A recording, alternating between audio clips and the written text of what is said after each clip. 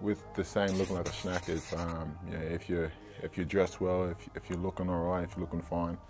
um, yeah, that's that's what the term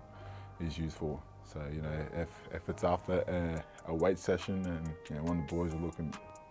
pretty nice, pretty pumped up, you know, I'll just come in and say looking like a snack.